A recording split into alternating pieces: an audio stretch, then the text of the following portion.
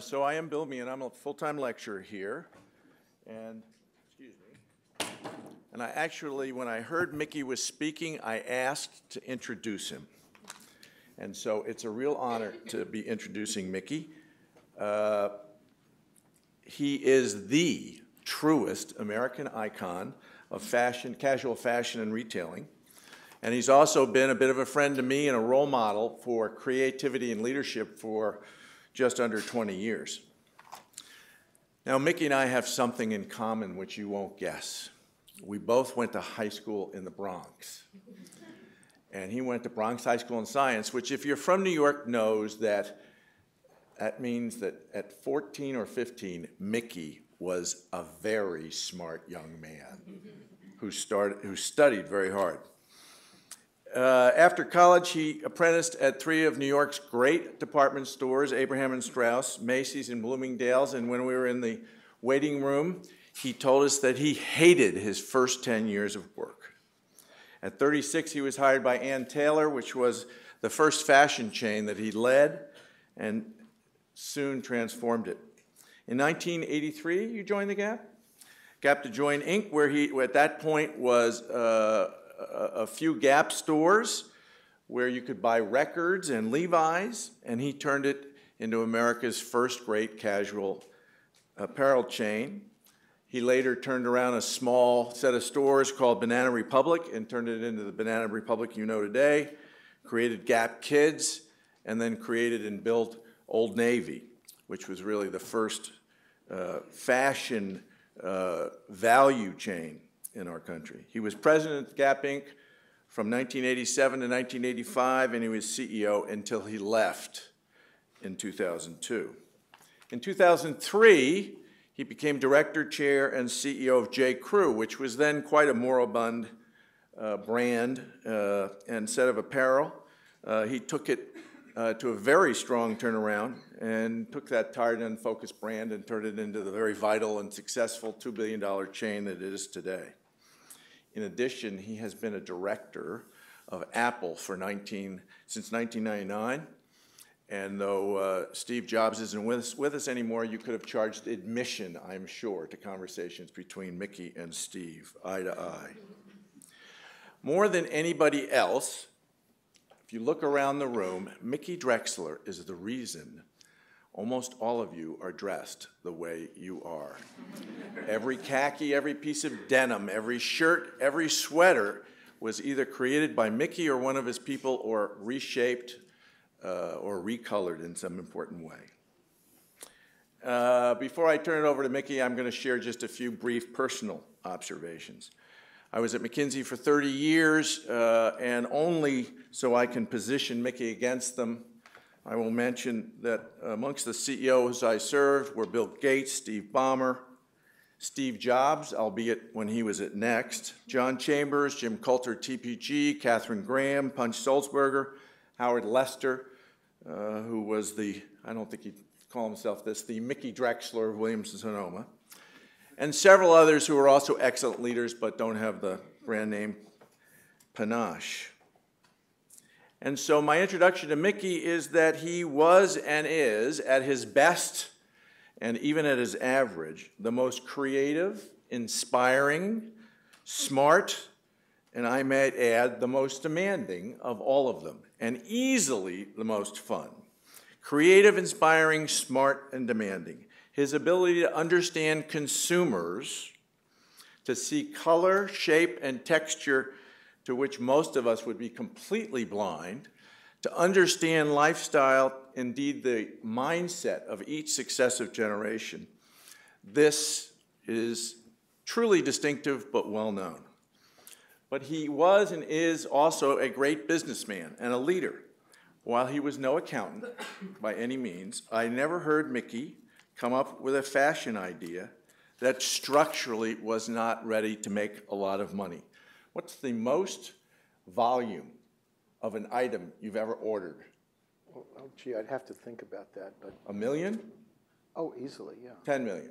Well, it's a long story, but you just give me. a- Yeah, give me so little hundreds of thousands, I mean, just imagine deciding that, you know, next spring, Well, it- it's, Yeah, you have to measure downside and upside. Absolutely. Right, Hundreds of thousands, millions of dollars of those sweaters. But it takes, you know, uh, it- there's a story about how it starts. Uh, uh, Okay, go ahead. Sorry. Okay. You know, I, I gotta Okay. finish the compliment. Okay, go ahead. But you weren't an accountant, but he always knew how to price goods. And remember, he is called the great merchant prince, and a merchant, above all, knows how to make money. Now, in my career, I had no thrill greater than spending two hours with Mickey in the first Old Navy store in Manhattan as he went around and toured it and looked at every object, every business process, uh, uh, every uh, piece of apparel there. And the way you could see that he could see and understand and integrate all the elements of fashion retailing and to do it with the most engaging monologue uh, that you could ever hear. So, with great personal and general enthusiasm on behalf of the business school, I welcome Mickey Drexler. Thank you. That was beautiful. You know, I, uh, I was a little concerned about this being taped, but now I'm very happy after that introduction. Bill and I, he didn't say, we go way back. We fought a lot. Uh, he was actually, uh, was at Gap uh, for many years off and on, and he was really part of the team. And uh, too long, too many arguments and too many disagreements that I even care to think about. But uh, it's really nice to see him here today. Uh, and uh, that was probably the best introduction I've ever had. Thank you very much. Uh, that was really nice. I don't have an agenda or set a speech. I asked my hosts and hostesses what I'd like, what I should talk about. And every time I said something like I didn't like my first 10 years of life in business, they'd oh say that.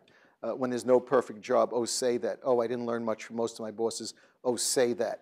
Uh, uh, the, uh, the, the way I learned to buy goods, by the way, was interesting, because Bill reminded me, and I don't have hours tonight, but when I was a young baby buyer at Bloomingdale's, it was my first job, Bloomingdale's after school, and I ended up buying, well, this doesn't, I don't know if it sounds like a lot, and how many of you were actually in retailing or worked in retailing? Raise your hands.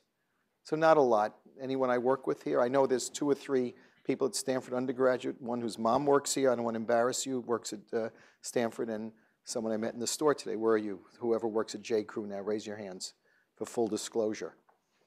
They didn't show up. Okay, that's good. um, they said they'd be here. Anyway, um, my first big buy was actually at Bloomingdale's, where I had a fight with the whole line of command uh, up into to the CEO about buying a T-shirt that I wanted to buy more than they've ever purchased before. But I kind of learned mostly on my own about being a merchandiser or being a business person, and learning from people who. Um, who maybe didn't teach me, but they taught me how not to do it, or they taught me how to be argumentative. And I always like to argue. I argued Bill over many, many things over the years. Uh, and, uh, uh, and I learned over time to kind of follow my own internal judgment. Now, at, at your stage in life, you don't follow the internal judgment as much as one does when they get older, more wiser, make many mistakes in your life and business. Uh, but at some point now, and especially now where I love what I do, and he didn't say I was fired, by the way, which I don't know, he knew that very well because he's probably part of the reason I was fired. McKinsey comes in, you know, McKinsey comes in, they say, oh, I think it's time for a new CEO. You know what happens? So, uh,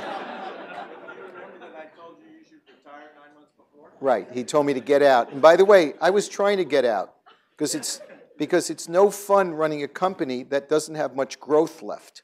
And mostly in America, in my opinion, everything I say is, the opinion of, it's personal editorial here. Uh, in fact, I went on the loudspeaker today. I was flying out from New York this morning, and I said, Everyone says Skyfall is a must see. I said, Personal opinion is the most overrated, too long movie I've ever seen in my life and so tacky.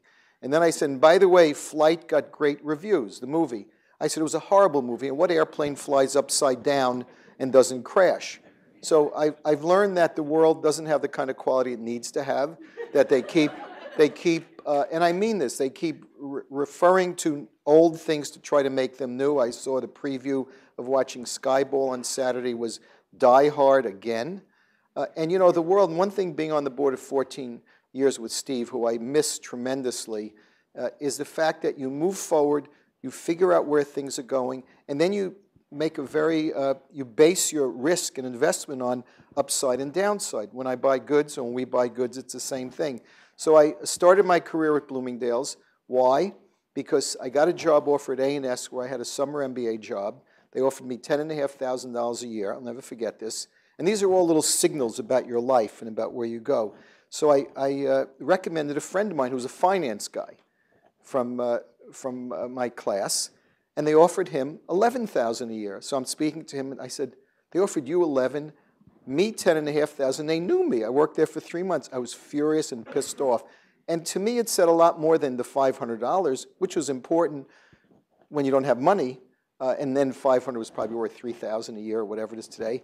And I said, I'm not going to work here. I went to work at Bloomingdale's, thank God. Uh, and Bloomingdale's then was kind of becoming what it became, and now it's not anymore because most department stores are discount stores to me today.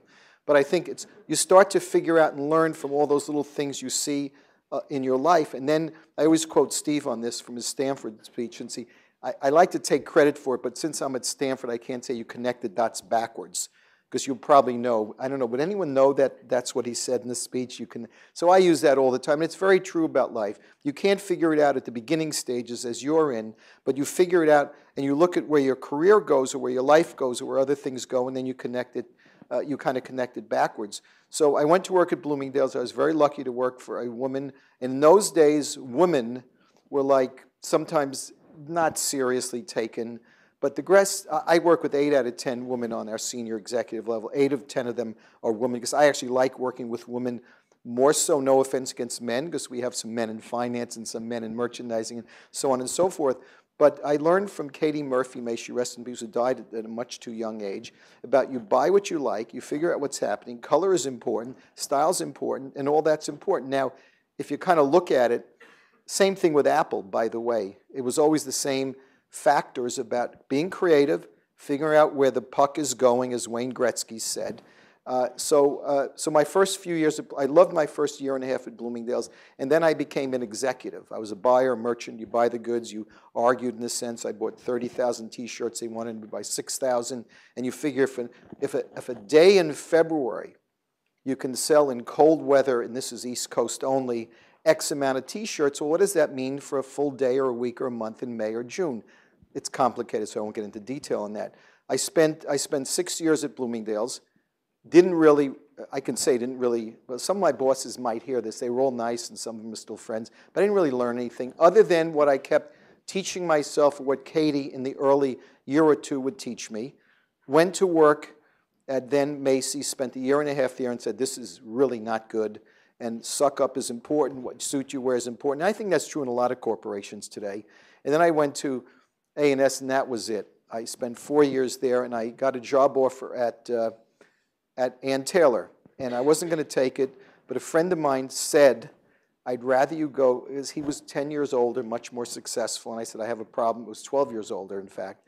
And uh, uh, he was kind of a role model. We don't talk anymore, by the way. He just is one of those people that after a while you had enough of him. But in those days, he gave me enough information. He said, I would take that job in a second. You're running a company, you have an opportunity. Anyway, I went to Ann Taylor when I was 35 and spent three or four years there. They were taken over by a big bad company within six months, Allied so so on and so forth. That's my story. I went to Gap, I moved out to California. I didn't want to ever leave New York and then uh, spent 18 years there, got fired for whatever reason. I thought it was the best thing that ever happened, and been at J. Crew since, having a lot of fun building an important team, partnering with TPG and Leonard Green. Uh, we went public. First, we partnered with TPG. We went public, and then we went private last uh, March of 2011. Uh, and that's where we are. That takes you through my entire career. Now, any questions? okay? Because I'd rather just tell you what, ask me what you want to learn uh, I, I did say I think M, it's the individual, not the degree.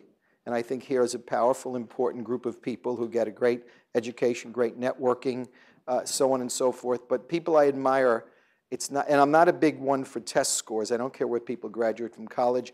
I think taking a test, and see, I got into science. I took a test and I did well.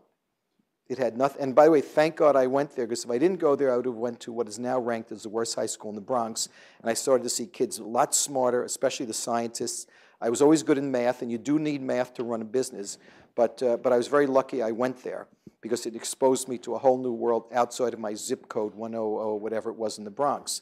Uh, and that was important. So uh, that's where I am today. I have a lot of fun doing what I do. Uh, it's never a straight line upwards. It's always a lot of angst. You get knocked down a lot. You have to come back. You get knocked down. And people I know who are successful have this will to keep moving forward and not be, well, some of them are arrogant about it, but after a while they might earn the arrogance.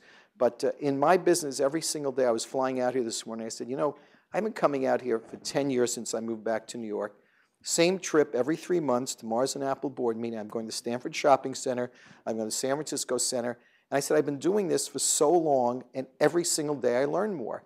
I learn what's wrong, what's right, what we need to do better. How do I learn it? By talking to store people, talking to customers, and having a very curious mind, and surrounding yourselves by people who, I have two words, get it. Very hard, but if they get it, they get it, and if they don't, they don't.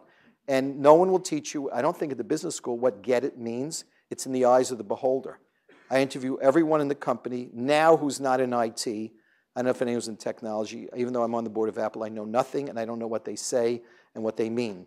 So, uh, but I interview, I interview everyone else in the company because it's very important. I have an obligation to like someone and like their future. And uh, especially in merchandising and marketing and, and all those things that a customer sees, I see it. And, and uh, I have an opinion on, on everything, right or wrong. And then I want people who can disagree and say what they think. Okay, questions? Yes? Mickey, you made it very clear that you think that business school may be a waste of time. I, I never said it like that. Okay? I'd love for you to speak. You say if you want to run a business, start a Well, business. you, you know, here's, here's how I feel about business school. I think, and, and I have a, a weird experience in retail, and I don't know if I'm right or wrong. And by the way, I think the job market's extraordinarily difficult today. And I also think, and I don't know if this is right, if you live and work out here or go to school out here, you see a little a different view of the world from what we might see. Because out here, you have all these young billionaires running around. A lot of them run very overvalued companies. Uh, a lot of them uh, get the right jobs. I'm sure some of you are here. Maybe you made a lot of money and you're just hanging out for a few years. But I think the real world is not what's in uh, Northern California. So I don't know if that applies to Stanford or not. Uh, I have happened to be someone who never went to fancy schools, which is why sometimes I'm angry at fancy school people. You know, it's just natural. Uh, but I also think that the people I know who are very successful, and success defined as not being the CEO of a big corporation, because I think a lot of CEOs get there because they're good at CEOing, they're good with boards of directors. I know a lot of CEOs today, not, not that I know them personally, but I look at their businesses and I say they shouldn't be employed. I also think that retailers should run retail companies. I think car men or women should run car companies. And I think so on and so forth. I'm always a little astounded when someone comes in to run a company who has no expertise in that category. I've been going to school now for 35, 40 years on doing what I do and trying to keep learning and being focused. And, uh, and I don't think a lot of companies or maybe CEOs realize that. And first of all, if you're a CEO, this is practical. You all want to, how many of you want to be a CEO here? Raise your hands. I'm curious. The truth. Raise your hands, the truth. Of a small company or of a big company.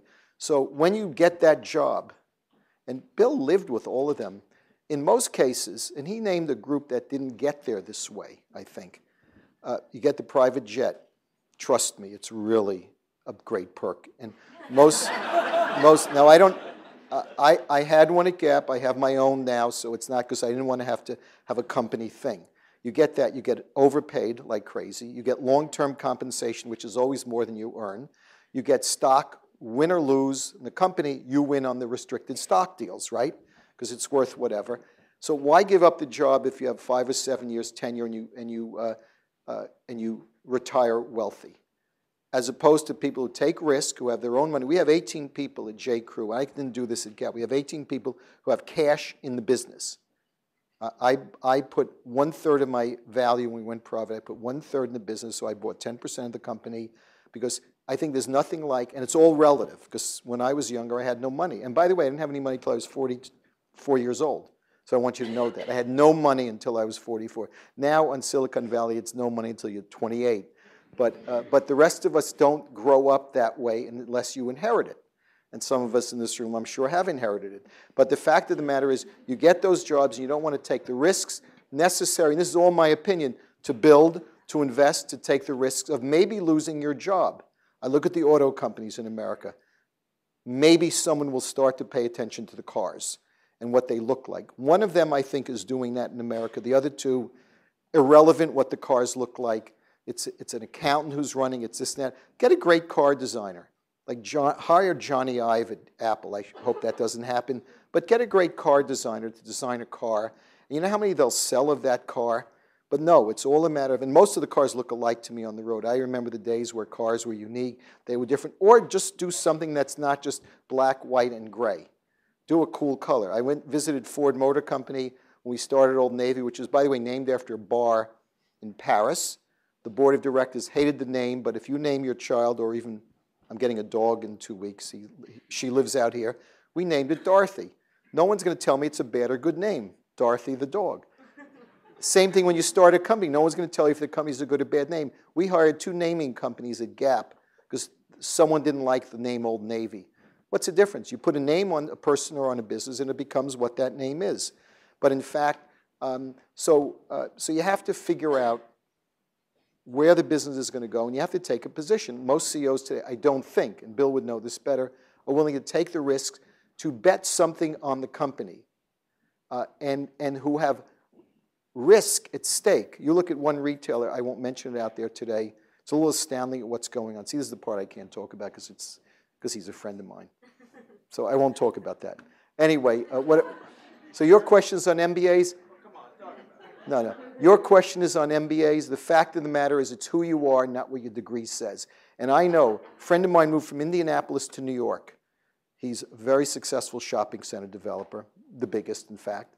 And here's the deal. We had lunch Friday, and he's saying, I don't know what to do. In New York, every kid starts, uh, and this is, how many of you from New York? Manhattan. Manhattan. How old were you when we started taking the SAT lessons for $1,000 a week or something, right? He says, I'm from Indianapolis. You can figure out who it is. And he said, my kid's a junior, and they're starting to take the tests. And in, in New York, they start as freshmen. It's, it's a race to do well on tests, which is not an indication of how successful you'll be in life. Now, most people who get into schools test well, or they have wealthy parents. Let's call it what it is. Or they have philanthropic parents, or they know someone. So, I, so it's not against MBAs. Well, it's true, right? No, it's true. So I'm not against MBAs. I'm all for people who make a difference and are willing to have some vision, take a risk, and it's not easy when you're young, and I call all of you young because I'm much older. Uh, at 40 years old, you're probably not as young anymore. But uh, so that's, that's it. It's not against MBAs. It's just people who have reasonable expectations and don't think because they have a degree it means they're going places. Now, I know it works in banking, I assume. It's very important in banking. I think at McKinsey it's important, right? Uh, eh, but I think common sense, logic, and I call the most important things I see is IQ and EQ and street smarts and an instinct. So, and it takes time to develop that. Okay, what other questions? Keep going. Yes. You reportedly had quite an explosive personality, and apparently you sort of, you know, calmed down at, at J. Crew. And Steve Jobs, you know, had the same issue. And uh, we're taught here in the business school, you know, this very humanistic approach to management where you have to you know, take care of all your edges not to be in any way, you know, violent to other people. And I was wondering, what are you? Not to be thoughts? what? Did you say violent? not no. violent, say aggressive. I'm sorry, my English probably. No, not, not to. No. at its best. And so the question was, what are your thoughts on this? Like transformational CEOs like Steve Jobs and like you are transformational because of or despite of their explosive personalities? Well, uh, first of all, um, I, I would ask you I, I don't know what explosive means. Here, here's how I define. Steve and I are different, very different. May he rest in peace. We're very different personalities, and I admired him more than any business person in the world. And remember, what Steve did, and no one says this, the last seven years of his life, he was fighting a disease that was probably fatal. And, and you watched what he did, and it was extraordinary. Uh, you know what I consider? I think it's all not being full of shit. That's, so if you call that explosive, if you look at someone and say what I think, or you look at the goods, first of all, the goods speak, the ideas speak. And if someone didn't, it, how many people actually say what they think? You read earnings reports. I see all these earning reports and stop giving me BS. Just say it wasn't the weather. Just say maybe we didn't have the right goods. Maybe we didn't have the right, the, the, right uh, team. Uh, and of course, you have the pressures of quarter to quarter. I don't believe I was explosive. I could not tolerate people who didn't get it. I was short on, on patience, But if you're running a big company, you must be short on patience. The winners, whoever said I was explosive, I probably fired, right? no, I don't know who it was. But the winners respond to honest passion in a business. I'd like to see those guys that, and I say they're all men, who run the car companies. They're always so cool about it. You know, they're always, here's the earnings, here's this, or this, that, and the other thing. There's nothing wrong with showing passion. By the way, most of us who are like that don't do well in companies. I didn't do as well in the department store business because, first of all, I couldn't stand having to play a role. Uh, but your first, look, my first 10 years, I had to make a living.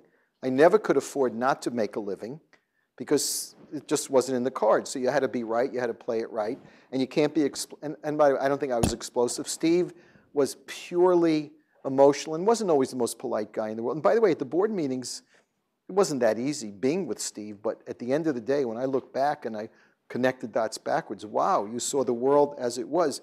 Uh, I think young people love people who get mad, who are passionate, and who are honest, and don't sit back and don't care that much. So I, I define all that as a critically important issue in people who run successful companies. Now, if you're a corporate CEO, you've all worked for them. Uh, I've worked for them in the beginning. They are really cool. They don't sweat. They come down the escalator in the store like this, and they don't care that much. And they don't say hello a lot of the time. And, and everyone has feelings. And I always say, look, if this is the way I am, that's the way I am. And by the way, I think as long as you're respectful. So uh, I've always been respectful. But in my early days, when you're in your 30s or 40s, you're running a company that's being drained like Gap, yeah, you have to get mad. The ship's going down. At J. Crew, we came there with $750 million in debt. And you're there, and you have to save the company, and you have to take care of the people who don't meet your standards. And I think most companies have a very hard time firing the higher ups, who in fact should be fired because it's not them that's being hurt, it's all the people underneath them who are not respecting them or quit because the boss ain't great. So, uh, but how do you transform?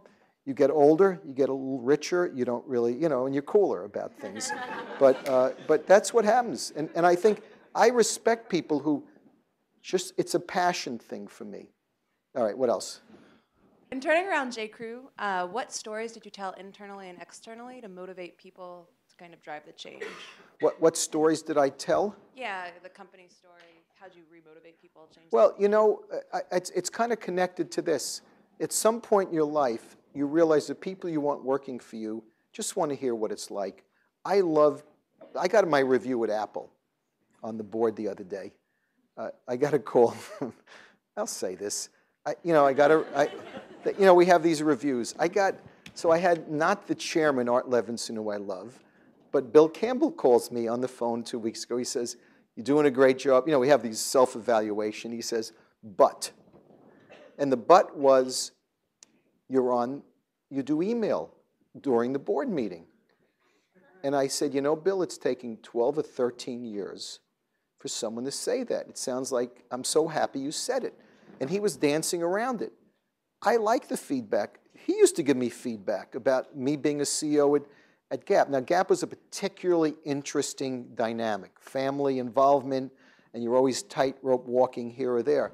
But I find that if you tell someone where they stand, especially now, I'm older, I got to review older. I then sent an email to the board and I said, Thank you for the feedback. I was waiting for someone to stop me. I'm obsessive about getting back on my emails. But it's what happens. Someone tells you what to do, and when you're younger, and I was older, it's fine. You listen, you absorb. It's not personal, it's business.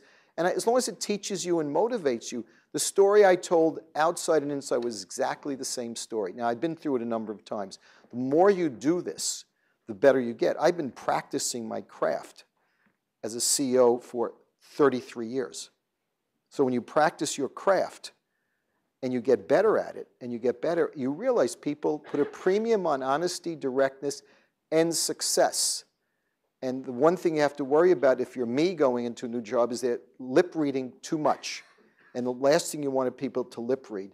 But it's, it's a style, it's a finesse, it's how you do it, but it's always direct. The best thing is be direct and let them know you care as much as they do and you're there to support them. And I always blame myself first for every mistake.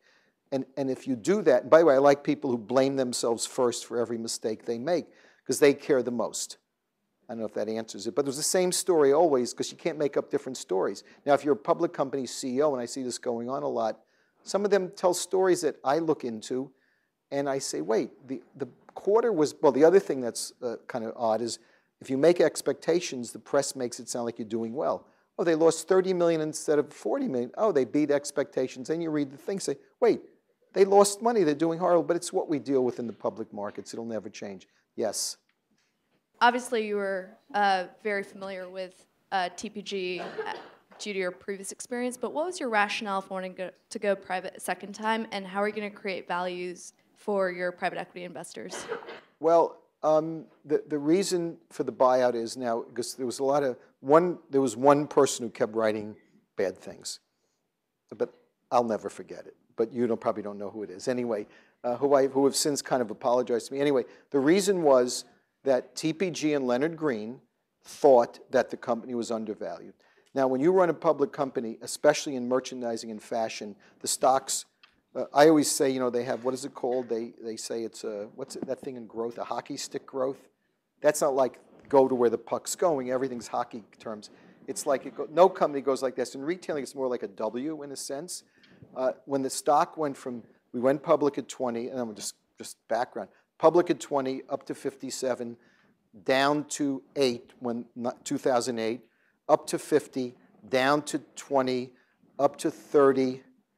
TPG and Leonard Green said, you know, this is a company with a great future, and Wall Street could not care less about long term. I don't care what you say.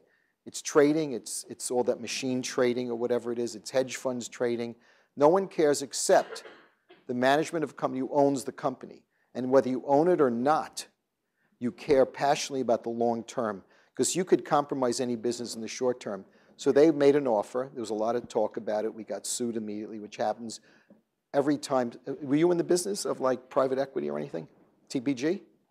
See, there you go. You gave it away. That's called EQ. Okay? So, uh, so anyway, um, and, and, they made an offer at 45.50. Then it came down to 43.50. No one else offered. Uh, so they bought X percent. I bought 10%. And the shareholders, by the way, what's interesting, you know this. The day the deal's announced, all your shareholders sell the stock. The only ones holding the stock are speculative buyers. No one cares less about, except for a nickel or a dime, et cetera, et cetera. But the rationale was they thought, to quote Leonard Green Company, we were in the third inning of a nine inning game. They felt it was great potential. We were relatively a small company in the world, and they had a lot of faith in the management. Uh, and for me, the most important thing was keeping the management together and us having investments in the company. Uh, how do we create value? It's very simple. You grow your earnings in a high quality way over time. And having been with TPG for now a long time, and they were directors of the company, uh, I felt they were going to be great partners. I didn't want to take on the debt, but I felt very comfortable because one of my friends said to me, You will worry as much with debt or without debt. And I said, Well, then we're going to do the deal. And that's why we did it. Creating value is purely creating earnings, profit, and a good future for the company. In uh, my leadership perspectives class, we've had a lot of CEOs come through, and they say a good leader will ultimately make themselves replaceable, whether through hiring. I don't believe that, by the way. I don't believe it. The reason I asked, Go ahead. was at Leonard Green when we did the investment, and there was With us and us? Yeah. Yeah.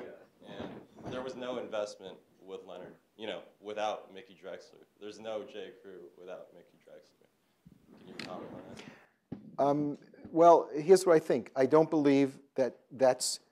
Who said that? The leadership class? That's not your class, Bill, is it, or no? By the way, I don't really believe that. I also don't believe companies go on forever. Uh, I'm not making a political statement by saying I'm not sure we should support companies or the banks that go bankrupt. I think companies get too big and they lose their edge and they become total bureaucracies. So if I look at the banks, JP Morgan or Goldman, they're so big, they're, they're so non quick. There's no man. Look, when JP Morgan or Goldman, they do those things, you think the CEOs know what the hell's going on? Now, Lloyd Blankfein's a friend of mine. I don't know if they know what's going on in those large companies. I find most CEOs above it all because they have this huge bureaucracy they're running. I don't think most leaders are in fact replaceable. Now, the fact is, if you look at great companies, they don't last forever, nor should they. But what happens in retail now, there's international, so to speak. Cost of money is nothing. You can go on, now you know more about this than I do. You can go on managing a business because it doesn't cost to, is that, there's no risk. It, I mean, money's really cheap, but I don't think that companies, uh, succession planning, I always thought, even when I was a young guy in the business, I always used to laugh because, you know, it's like plan succession for Pablo Picasso, okay? Plan succession. Now, I said publicly, you know, Tim Cook is following Steve Jobs. And by the way, I think in any business it takes five years to do your job well as a CEO. It, and I've been doing this for 10 years. I can't believe it's 10 years. And every day we're building and building and building, and it never stops. Now, uh, succession planning, um, in a case like, well, who, like Estee Lauder is an interesting case. I think they did well. They had family, now they have a professional manager. Uh, I, I guess the issue for me, and by the way, we each have our own mission in a business. For us, it's quality, it's creativity, it's taking care of the customers in a nice way. A lot of companies out there don't care so much about that. They care quarter to quarter. Uh, but, but it's a long philosophical discussion. I don't believe in it because I've been listening to it for 40 years now. And I look at companies, and I don't know where you can say there's been a seamless, fantastic person to take over. Maybe, I don't know about the banking business. It's probably easier to do the banking business than it is to do the art business if you're a painter. If you're a retailer who has a sense, it's probably more difficult to have succession. Costco, which is a great company, probably is less difficult because I think the two founders there did a spectacular job and it's a great company. I think it depends on each individual company. I know there are no rules and regulations on any of this stuff that people say. And, you know, look at General Electric. Was it a bank? I never knew what Six Sigma was ever. Does anyone know what Six Sigma is? You might know. I never understood it my whole life. And I listened to the Six Sigma, and then I listened to Andy Grove once at a talk. Andy made sense. Six Sigma, I didn't understand. So if I don't understand something, I say, then it's not right. Uh, but but uh, it's part of, by the way, being logical and not being intimidated by what you hear is the right thing to do. It takes a long time to really say what you think. Uh, in fact, I never would have said Skyfall was a crappy movie. Now I can say whatever I want to say, you know? And I think with CEO succession, but you tell me, give me the great examples of CEO succession. This place is named for Phil Knight. I don't think there's been great succession there. Phil Knight, who I didn't know personally, was an extraordinary business builder. So I, I don't know. I, I- think things change. So what does that mean for Apple without Steve Jobs? Time will tell. Time will tell. And, uh, and, and what you do what Steve Jobs does, you'd hate to follow him into a job. Let's face it, it's much easier to take over a company that's not doing well. You know what I mean? Instead of one that's plays the game that way. Time will tell on that. And it will be, who knows how much time. Okay. Who, someone was, you're in charge of the questions? Okay, go ahead. Um, I was wondering if you could talk about uh, the potential that you think um, the fashion industry could play in addressing some of the biggest issues facing the world, such as poverty. And have you seen any exciting business models or interventions from brands in the fashion industry um, that are addressing these issues or have some promise there? Well, you know, that's not my pay grade.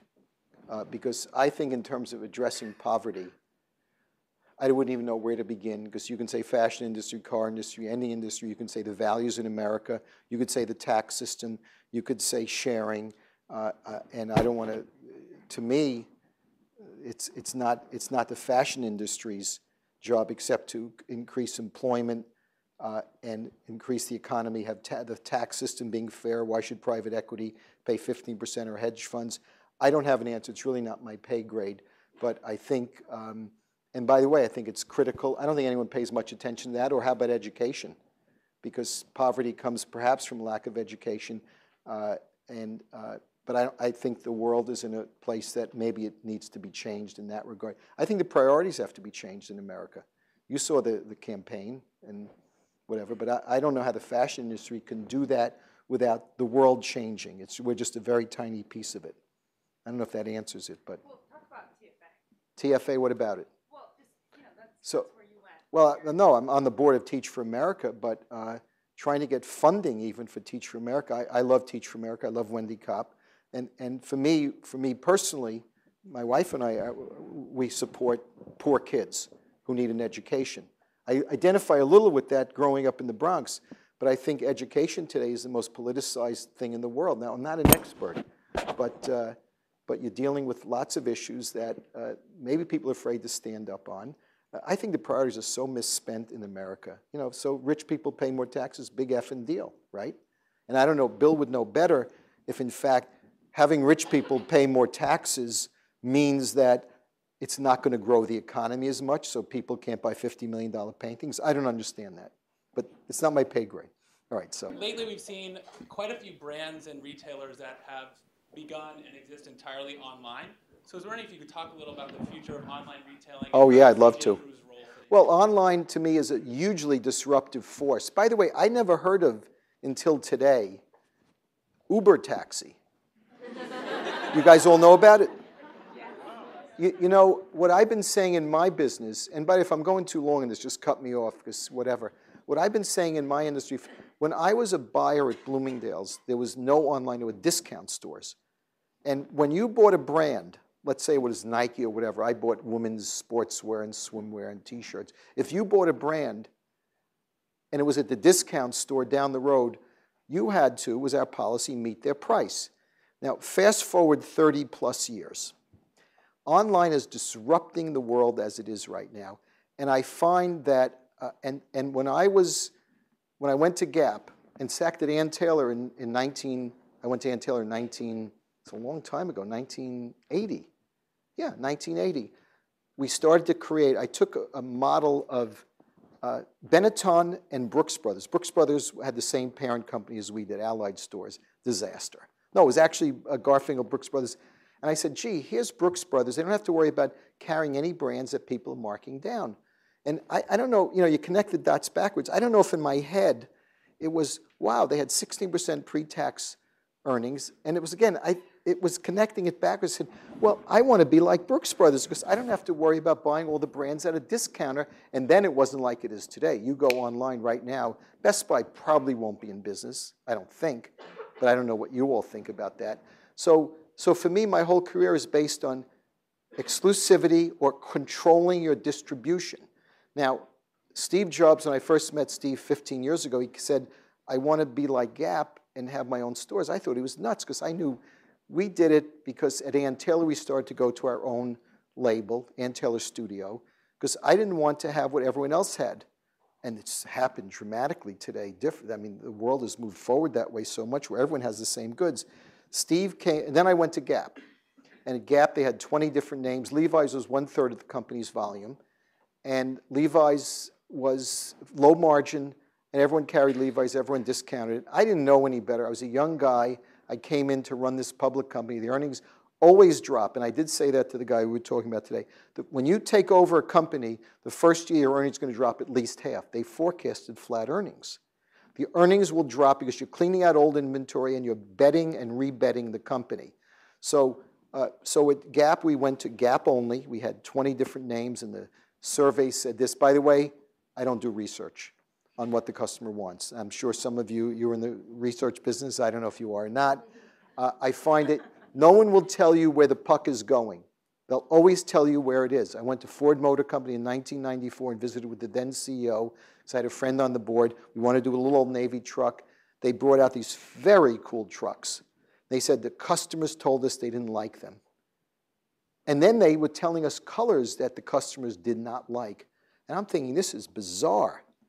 Anyway, Gap, we had Gap brand, uh, and we controlled it completely. Levi's finally said they didn't want to sell us. I was a little nervous. I said, fine. You know something? There's opportunity in the midst of adversity. Um, Steve came when I met Steve, and whenever this was, he said, I want to open up Apple stores because I can't depend upon distribution of my product at Best Buy, who's still in business, and name the rest of them are all gone. And he couldn't control his image, he couldn't control anything. Here comes online now. You go online, and I do this as a matter of practice, and everyone in our company does this now. If there's a brand, you want to pay the best price. Amazon ships really well. Cosmetics America ships it well. Target ships it well if it's in a box. I called the CEO of one of my former companies I was a director of, and I said, by the way, your goods are one third more than they are at Target or Amazon. Oh, we, we didn't catch that brand. You go look at a brand today, I think they're all commodities. Every single brand is a commodity. You got Gilt, you got all the discounts, TJ Maxx, Ross stores, they're all selling goods at discount. So what do I think of online? It's a huge disruptive force, just like Uber Taxi, which I only, a friend of mine, I flew out with a friend of mine, and he was telling me that he, he has a, an Uber Taxi app. I never heard of that in my life. He says it's unbelievable. They have them out here. I guess they have them in New York. And there's so many disruptive forces in the world. So what I think of online, it's going to keep changing the landscape dramatically. And I think it's going to start to put a lot of people at risk in the business. And it is right now. Uh, because I don't ever want to be in a business where I have to wake up every day worrying about someone selling it for a better price. Because I know for me, it's not what I want to do, and I wouldn't be the best at it. So now you got Amazon, who maybe they can afford to have a 200 multiple and not make any money, whatever it is. They just announced last week they're going after the apparel business. They're opening studios in New York. So I think it's one of the biggest disruptive forces that in our business, and I don't know about other businesses, people aren't paying that much attention to or they're not admitting to it. We go online and we buy a lot of stuff, and my wife in cosmetics or whatever else she might buy, and it's a matter of practice. You shop right here, you find out the best price. It comes in the same box. It gets delivered. There's no servicing. When I ask my fellow, they're not really friends of mine. They all don't like me that much in the department store business because I don't like the department store business because I say, what do they do better than other people?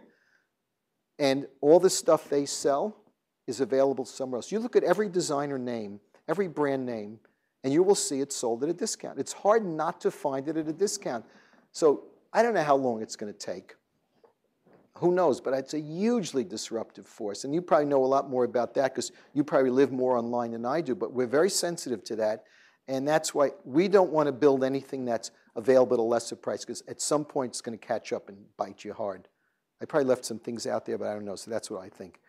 Okay, who else is next? Two things. First, um, fashion is such a small part, uh, part you said, in, in Big Problems. Actually, uh, I'm sure you're aware, fashion is actually the second most polluting in the industry. Mes- Af- uh, the the, second second, most- most, polluting industry I'm in not the aware. world I'm not aware. after oil uh, and gas. How did, uh, what survey tells you that? Well, it, I I think it's just Because you know look- something, I don't believe it until you show me the, re- the facts. Sure, let's ahead. walk through the whole value chain. Uh, cotton growth. Uh, I mean, Uh, but I'll take it. For this purpose, Okay, we'll pes- take it. Go pesticides, Okay. uh, chemicals. Colors, dyes, all right, that. So there's huge potential uh, we can do in the fashion industry. However, my question was more now to what you did, particularly in terms of branding, because I think um, the way you reshaped the Gap, but now also J. Crew. Uh, J. Crew has come to a point. You look at a, uh, a mailer, you, you look at the website, you, you look at any piece, and it just looks consistent. You know it's J. Crew. And I feel like, how do you do that in a company that big that goes through so many consumer touch points? How do you define really this good question. point of view that you have succeeded to refine so well? Y- You know, it's a really good question. Um, and isn't- it's really not that big, the company. If you came and visited us, you will see that it's just, I don't think it's that big. And I think the focus, and this is what a CEO does. See, I used to get criticized for micromanaging. Steve is a terrible micromanager. I look at everything you see, and if I don't see it and it passes by me and I don't like it, I'm furious because I, I didn't partner in it. I, I saw something online today I wasn't aware that we did, and it drove me a little crazy. But uh, it's if you if if you hire what? Well, I have a loudspeaker, by the way. So I wherever I am, I call out all over the world. And and by the way, it's there's a thousand people at 770. I think every company shouldn't be allowed to have walls in their offices, and they should have loudspeakers because I'm on the phone all day. And if I go into Stanford today or San Francisco Center and I called out the fact that I thought the necklaces were whatever and this is whatever, uh, but uh, I am a micromanager on the finest detail on what you see as a customer. Then, by the way, it's not just me. Jenna Lyons, uh, Diego Scotti, uh, Tracy, the team. Uh, you must have a sense of people who get it and understand the vibe of the brand. That's really, really important. And it's, it takes a lot of work to get the people who kind of move with you and get it and feel it. But uh, I say whatever customer sees is really my job and their job. Uh, but, but we go through every, every email. Every, if you look at the catalog, I should have had the catalogs here. I don't, the brand new catalog. We look at those as if we're publishing a magazine every week, every style, every outfit, every cover. And by the way, we screw up. We screwed up why, why we're private, because we screwed up two years ago on it was too late. By the time I look at the catalog, it's pretty much there. I looked at the cover of July 2010, and I prayed. I said, Holy shit, we're in trouble. And we all knew that. I'll never forget. There was this woman lying down, looking very weird and un J. Crew like. And, and that's a really big issue. But you do it because you know how to focus out all unimportant things in your life. I don't spend time with IT people. I spend time in the stores like crazy. I look at everything visual. I look at all the styles in the company. Uh, and I do that. And I love what I do. But it's, it's what your job is as a CEO. If the guys who ran, I say the men, they need some good women in the car industry for style. If the guys who ran the car companies looked at the design of those cars and said, why did they do this? But look at the movie industry. How do they allow those movies to go out? Maybe there's no vision, or maybe they're trying to make the movies longer and they think they'll get more business. I don't know. I'm, I'm a big complainer and kvetcher about that stuff. But at the end of the day, it's a vision, following it, being consistent. I haven't seen Mercedes change that star in 100 years. I don't know what a GM car looks like anymore, or a Chrysler anymore, or a lot of other cars. Or the Toyota has that little thing like this, or Audi, or BMW, or the Mini is a very well designed car. Even the Fiat has the badge. It's consistency and advertising and everything else you do. I, I could answer this for hours, but all right, what's? So you talked about how um, it took you until you were 44 to be at least financially successful. Well, it's all relative. um, so maybe 43, I think. It was 42, actually. Go ahead. All right, then I don't have I, a question. I still have the check. Okay, go ahead. So uh, a lot of us. I was a late bloomer. Go ahead. It's okay. A lot of us here probably don't want to wait until we're 44 I know that. I know. Successful. I know. Um, I know. And I think you know a lot of. The, but you'll have to. You have no choice. If you look well, at it statistically, what's your name? Henry. Where are you from? East Coast. Yeah. I figured. okay, go ahead. It's it's the money thing. Go ahead. My, my parents, they asked you, go to this school at the West Coast, you're supposed to be a billionaire by the time you're 28. And Where are you from in New York? I'm from Washington, D.C. Okay, so. it's the same thing. Um, right. Not really. Go ahead. So, um, you all, um, could you talk a little bit more about certain key decisions, um, setbacks, um, key moments in your life, in your career to uh, making it to where you are today? Yeah. Um, and potential advice on those of us who are trying to become billionaires okay. at 28 versus. Well, if, by the way, I never tried to get rich, and, and I'm serious. I, I, I, only wanted to have a nice car, have a home. I'm I grew up in the Bronx, you know, without a bedroom, whatever. It's all relative. And, uh, and I think that's a really good question, but it's, uh, again, it's personally for me because I don't understand, and nor should I, what, how you all think today, or how my children think, which is different perhaps than I thought. Because when I grew up, you had to go to work, uh, unless, well, most people, there weren't that many rich kids around then. You know, because, you know, I was the second generation, whatever. My grandparents are from Poland. But uh, I think today, uh, don't be disappointed because you won't be a billionaire by the time you're 28. Or in this room, when I went to college, you said, look to the left, look to the right. Do they still say that? And but not here. Not here, right. No, here they say, look to your left, look to your right. They're going to be billionaires. Oh, I see. Look to you. But, but I think one of the things about, and, you're, and you have a competitive school back east that's terribly arrogant about this. You know who they are, right? um, but, but for me, uh, it, I had a different outlook, and it wasn't like in 2000, I'll never forget running Gap, and all of Silicon Valley had that bubble. And I'm looking at these, and by the way, today also, I think the hedge fund wealth is really out of control. I think it's crazy. Is there an improvement? See, it's kind of how do you help poverty? By having people trade stocks and not create jobs? That's something that doesn't help. Uh, I think when you build things like Google or you know, whatever else gets built, Facebook, or great companies that hire a lot of people. That creates jobs. Personally, look, I, I went to work at Bloomingdale's. After two years, I said, shit, I don't like this anymore. I don't trust. Four years, I was making a living. I couldn't quit. And by the way, I don't, I don't know how many, how many of you could afford to quit a job and not work? I don't know how many can. So you're always looking for a job when you're working. Then I went to Macy's. That was a real disaster. I was there three weeks and I said, oh God, this is a mistake. I didn't think about it because when you have an economic need, you don't have the luxury of saying, oh, I'm going to quit. And then I was worried about resume stuff, and you didn't want to quit that soon. Then I left Macy's. I went back to Federated, which owned A&S. I got there and said, this is another mistake. Then I got depressed. I was always a little anxious during each day and each job.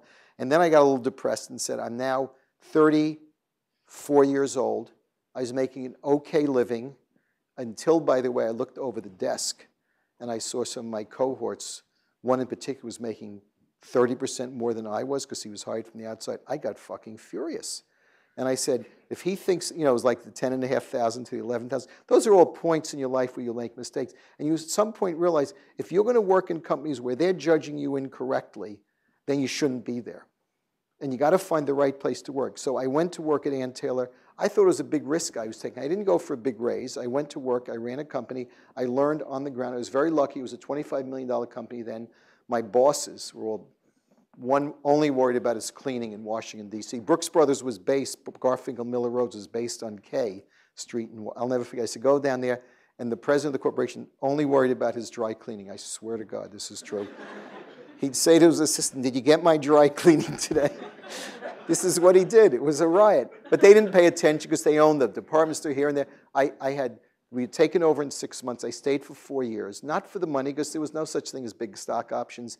And then I had to get out. I wanted to be in New York because I love New York City. I ended up at Gap. Why? For, that's a whole other long answer. But I had setbacks in Gap. I was there a year. I told my chairman to go F himself. And then I called my wife and said, We have no money. I didn't say it first. I'm here in New York. We don't have a place to live. And I told him, you know the fights I used to have with him, right?